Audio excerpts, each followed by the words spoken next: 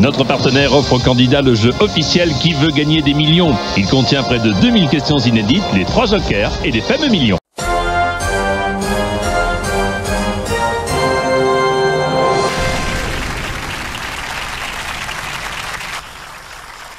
Now it's time to meet tonight's 10 brand new contestants. They are Sarah Maloney from London. Drew Cole from Belfast. Angie Richards from Middlesex. Peter Dixon from Warwickshire. Graham MacDonald from East Lothian. Paul Thurlbeck from Kent. Steve Alsop from Warwickshire. Glenn Gradwell from Middlesex. Jill Murray from the West Midlands. And Jeff Gross from Surrey. Okay, that's your 10 contestants. Tuesday night, fastest finger first. Whoever puts four answers in the correct order in the fastest time is next tonight to play for a possible £1 million. Audience, nice and quiet, please. They need to concentrate for this. Fastest finger first. Here comes the question. Starting furthest north, put these lines of latitude in the order Captain Scott crossed them, travelling from the UK to the South Pole.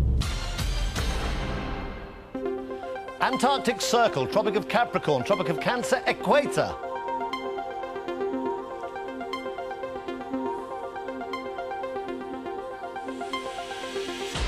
It's one of those that may not be as hard as it actually seemed when the initial question came up. Let's see. This is the right order. Uh, Tropic of Cancer, uh, and then going down, it's the equator, obviously zero degrees. Then it's Capricorn, and then obviously down in the south, uh, it's the Antarctic Circle. Cancer, equator, Capricorn, and Antarctic Circle. That's the right order. Now, 10 started. How many got it right? Was it 10? Three were right. Who was fastest? Jeff Gross! Yeah! 5.95 seconds! Jeff, you made it! He's so excited! Now, would you like to play for a million English pounds yes, while you're please, passing? yes, please.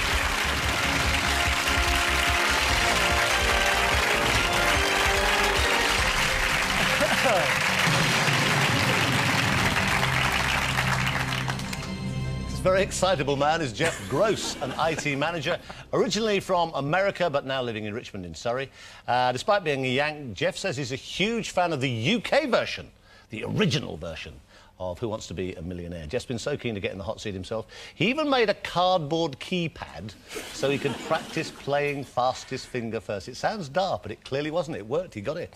Unlike the time he dressed up as a head swan for a Club Med production of Swan Lake with flippers for ballet shoes and balloons for boobs.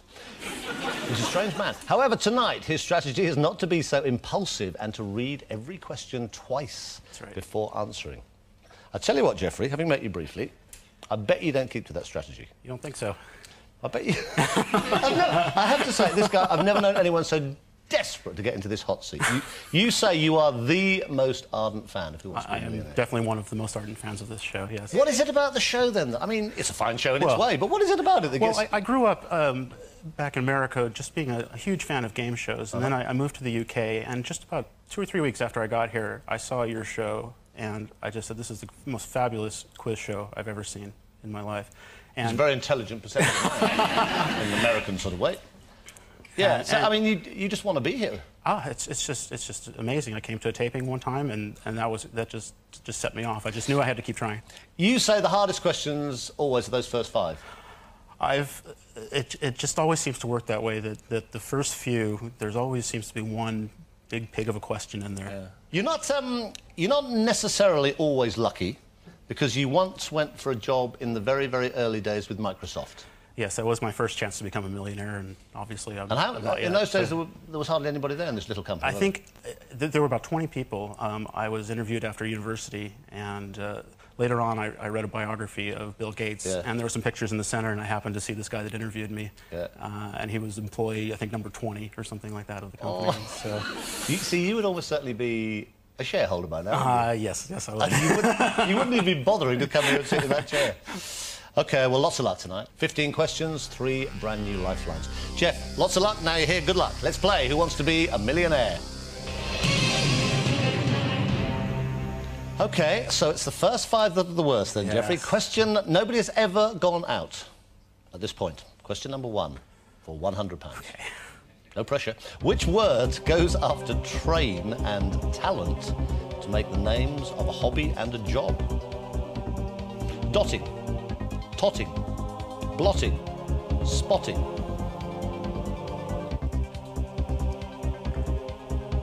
That has to be spotting, Chris. Final answer. Final answer. It's the right answer. You got £100. Question number two, Jeff, for 200 quid. Here it comes. What name is usually given to an unauthorized revelation of official information? Seep, gush, leak, squirt. That's leak, Chris. Right answer. You got 200 pounds.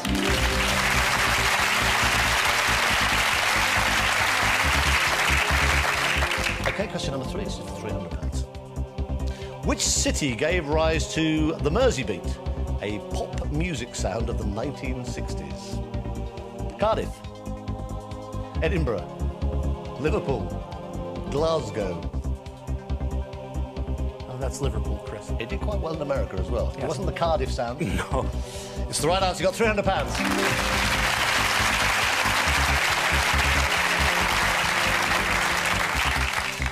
people like the Beatles, Gerry and the Pacemakers, uh, etc., etc. Mersey Beats and Co. Right, you got 300 quid. This is for 500 pounds. You're two away from a guaranteed 1,000. This is for 500 quid. Which of these is another name for the star sign Gemini? The twins, the triplets, the quadruplets, the quintuplets. That's definitely the twins. It's the right answer. You got 500 pounds.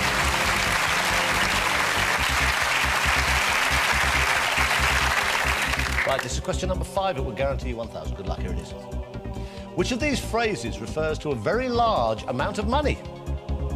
King's Counsel, King's English, King's Shilling, King's Ransom. Glad that came up. King's ransom is the answer. Not King Shilling. That's not a large amount of money. It's the right answer. You got 1,000 pounds. Good man, Jeffrey.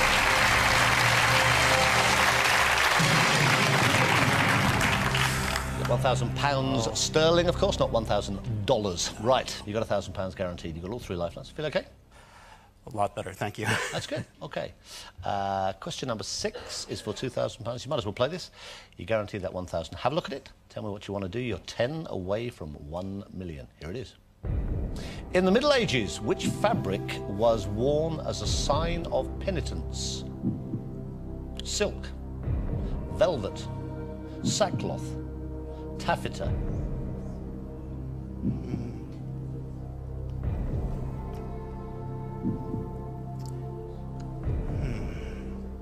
I think I have an inkling, but it's been an inkling sort of night tonight. yeah, yeah, exactly. I'm not sure enough to guess, so I think I'll ask the audience. Okay, uh, they'll know. Audience, on your keypads, please, everybody. This is the question. Let's get Jeff up to £2,000.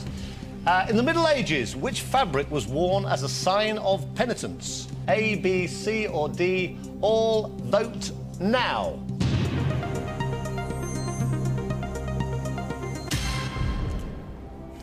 Now, you know your inkling. That was it. You little liar, Jeffrey. Jeffrey, we have a phrase here in England liar, liar, pants on fire. Were you going to think sackcloth? I did think sackcloth, and, and that will be my answer, yes. Serve you right if it's wrong. Final answer. Final answer, Chris. it's the right answer. You got £2,000.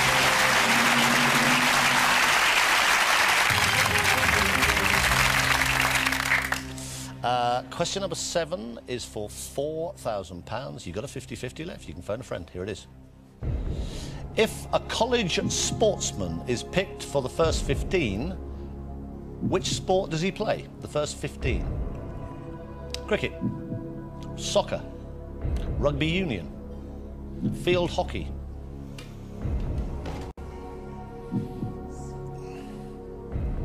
It's rugby union, Chris. How would you know that? Being an American person. Um, Well, I live in Richmond, which is near Twickenham, and I know. Oh, yes, they do have a bit of rugby around Yeah, Richmond. Yeah. yeah, and I know there's 15 players on a rugby union side, know there's no trick questions on Millionaire, so I hope that's Well, not normally, Jeff. no, there, are no trick, there are no trick questions. Um, you play? Yes, I'll play that. I'll play Final, rugby union. Yes. Final answer. Mm -hmm.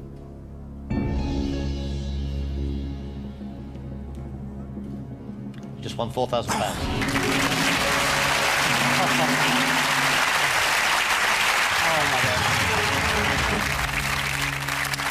Have a look at question number eight for £8,000. Uh, you've got 50-50, you've got phone a friend left. Have a look, you can double your money, give me the right answer. What nationality is the pop singer Mariah Carey? American, Australian, Canadian, Irish. Yeah, she's one of ours. She's an American. Oh, one of our lives in Richmond. Oh, one of ours now, when it suits you. Just now, you were a keen English rugby fan. Are we going for Mariah Carey being an American person? Yes, we are. It's the right answer. You got eight thousand pounds. You're on a bit of a roll, Jeff.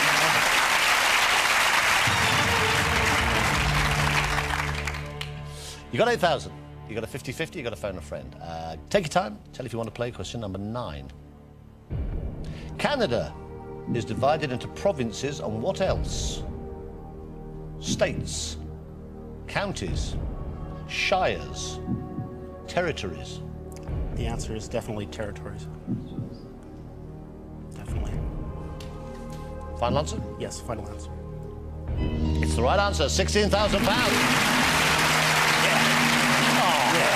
Mariah Carey, Canada. right, you got sixteen thousand. You're hanging on here, doing well. You've got uh, two lifelines. Question number ten is this for thirty-two thousand. The school Dotheboys Hall features in which Dickens story? Nicholas Nickleby, Martin Chuzzlewit, Oliver Twist, David Copperfield. Fortunately, not up on my Dickens. Um,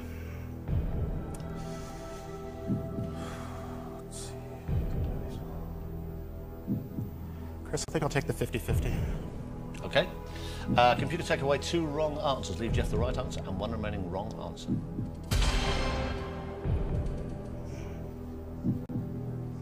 Does that help? Not a lot. Not a lot. They all sort of sound the same, don't they they? do, I know. Sorry, Charles Dickens, if you're watching, but they do. I'm going to have to phone a friend.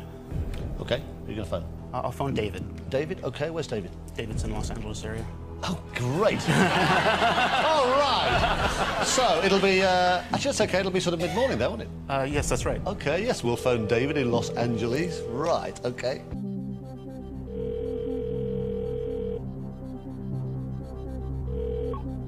Hello? David?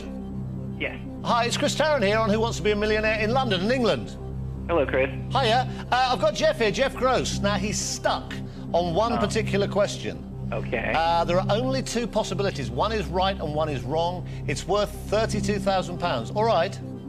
All right. Okay, David, good luck. Jeff, 30 seconds. Your time starts now. Hi, David. This, the school Dotheboys Hall features in which Dickens story? Is it Nicholas Nickleby or Oliver Twist? It's Nicholas Nickleby. Oh, thank you, David. Bless I'm you. 100% sure. Oh, thank you very much. Okay. Sure. Thank God. You sounded um, very, very confident. I like 100% sure. That's, That was good. you might be 100% mad, of course. no, that's true. It comes from my family. I'll go with this answer. Nicholas. Final answer. Final answer. It's the right answer. You got £32,000 sterling. Oh, yes. Oh, yes. All right. Well,